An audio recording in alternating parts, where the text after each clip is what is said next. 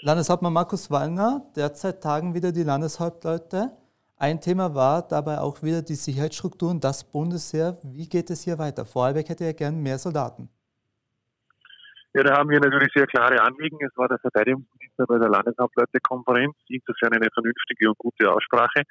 Aber ich habe natürlich von der Vorarlberger Seite klar gemacht, dass das, was versprochen wurde, umgesetzt werden muss.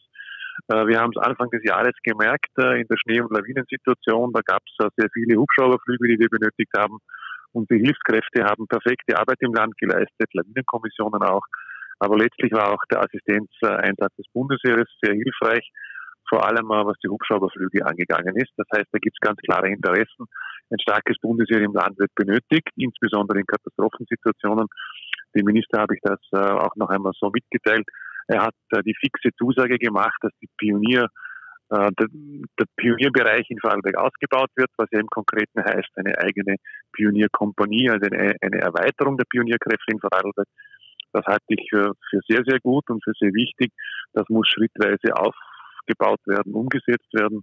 Und umgekehrt brauchen wir natürlich auch immer die Möglichkeit, Hubschrauberflüge durchführen zu können. Ich glaube, das war ein, ein gutes Gespräch, äh, wo der Minister klar gemacht hat, von seiner Seite, er möchte hier auf Kurs bleiben. Er sucht um Unterstützung, wenn es um die Finanzierung geht, insbesondere auf Bundesebene. Und andererseits äh, habe ich die Vorarlberger Interessen mehr als deutlich artikuliert. Äh, ich trete immer dafür ein, dass wir ein starkes, gut ausgebautes Bundesheer in Vorarlberg haben. Das braucht es auch unbedingt, wenn wir äh, wieder in die Lage kommen, Katastropheneinsätze zu bewältigen. Dann ist das Bundesheer natürlich eine wichtige Hilfestellung. Also so, so gesehen eine gute Aussprache. Mhm.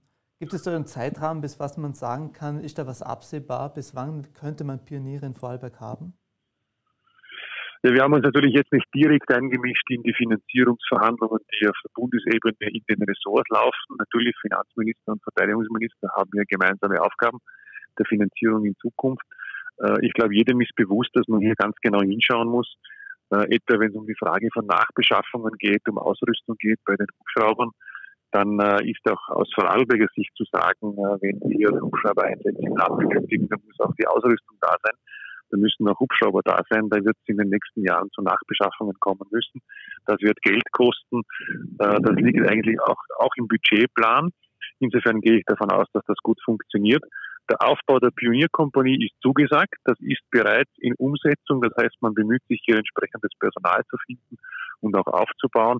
Wir wissen, dass die Ausweitung in dem Bereich, der Aufbau einer Kompanie, einer eigenen Pionier- und Sicherungskompanie in Vorarlberg gut wäre aber natürlich auch seine Zeit benötigt. Das ist nicht immer nur eine Frage des Geldes, sondern dann geht es auch darum, dass man das Personal dazu findet. Und äh, das ist auch eine Aufgabe, die im Land da ist. Der Militärkommandant, das Militärkommando bemüht sich hier ganz intensiv darum und äh, hat auch meine, meine vollste Unterstützung. Ähm, der Minister hat grünes Licht gegeben, das ist gut so. Das heißt, wir können diese Arbeiten im Land einfach gut fortsetzen. Ein anderes Thema am heutigen Tag war die Trinkwasserversorgung. Vorarlberg fürchtet hier um den Bestand der Wassergenossenschaften. Warum?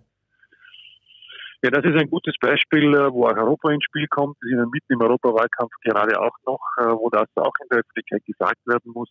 Vorarlberg hat äh, ein hohes Maß an Trinkwasservorkommen und hat exzellente Qualität. Es ist auch vernünftig, wenn hier ein paar Regelungen da sind über die Grenzen hinaus. Aber am Ende des Tages muss das in Vorarlberg abgesichert sein und unsere ähm, Trinkwasser, auch Genossenschaften, die wir haben, die Verbände, die wir in dem Bereich haben, die machen gute Arbeit. Da braucht es nicht so viel an europäischer Regelung. Da kann sich Europa durchaus etwas zurückhalten. Äh, Europa soll sich dort darum kümmern, wo die Wasserqualität nicht passt. Aber es wird auch vermutet, dass neue Richtlinien oder neue Gesetze wieder kommen, die in Richtung Privatisierungsdruck gehen könnten. Das ist nicht etwas, was Vorarlberg hilft, sondern schadet. Und äh, von daher muss ich schon sagen, wenn es um Trinkwasser geht, dann äh, verstehen wir eigentlich keinen Spaß. Äh, das Trinkwasser muss in Vorarlberger Hand bleiben. Und äh, wer hier immer auch mit europäischen Gesetzen eingreifen will, äh, muss schon wissen, dass wir uns das jedenfalls ganz genau anschauen. Die Landeshauptleute waren einer Meinung in der Frage. Trinkwasserangelegenheiten sind Angelegenheiten, die wir zu regeln haben und wo wir nicht zu viel an europäischen Einfluss brauchen. Schon gar nicht in Österreich, wo die Qualität ja auf höchstem Maß abgesichert ist. In Vorarlberg sowieso ausreichend vorhanden und in bester Qualität. Äh, wir halten das Wasser hier sauber im Lande. Wir schauen, dass die Bevölkerung ausreichend versorgt wird. äh, ehrlich gesagt, da braucht es von der europäischen Seite nicht allzu viel Einfluss. Da sollte man sich zurückhalten. Ein anderes Thema, wo aktuell die Frage ist, was ist Landessache, was ist Bundessache, ist die Zuständigkeit bei den Krankenhäusern. In Vorarlberg noch klar in Landes- bzw. sogar in Stadthand. Der, Land, äh, der Bund hätte hier mehr Einfluss. Was ist hier der Standpunkt des Landes Vorarlbergs? Also da gab es zuletzt von Bundesminister Moser ein, äh, will ich sagen, etwas unausgegorener Vorschlag. Mein Kollege in Tirol hat ihn als kurios bezeichnet. Das trifft die Sache ganz gut. Naja, wenn man es genau anschaut, äh, ist, dies, glaube ich, ist das, glaube ich, ziemlich klar. Die Länder sind schon zu gewinnen und das ist auch richtig so, wenn Gesetzeszuständigkeiten klarer zugeordnet werden und wenn Entflechtungen stattfinden. Im ersten Teil der Verfassungsreform ist auch einiges geschehen, zum Beispiel Jugendhilfekompetenz ist an die Länder übergegangen. Das war aus meiner Sicht ein guter Schritt. Äh, man hat alte Gesetze, die zurückgehen bis zum Jahre 1920, abgeschafft sogenannte Überleitungsgesetze. Aber jetzt gibt es wieder Vorschläge, die in Richtung Zentralisierung laufen könnten. Und äh, da muss man schon auch warnend auftreten.